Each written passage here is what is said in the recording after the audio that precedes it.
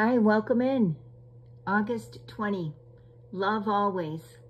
Love patiently accepts all things. It always trusts, always hopes, and always endures. 1 Corinthians 13 verse 7. Love accepts all things. It does not deny reality and it does not limit its response according to what is given. Love is patient. It is long-lasting and willing to give the benefit of the doubt. It does not seek to control and it cannot be manipulated by another. Love always trusts. It always hopes. It always endures. Where has this kind of love developed in your life?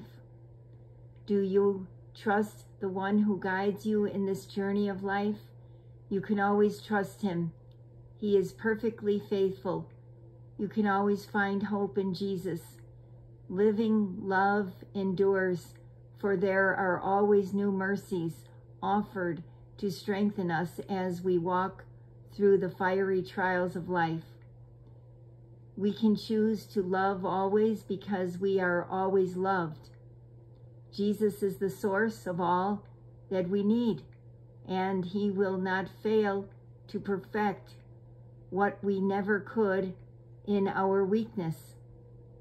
Jesus, you are the very source of life and love.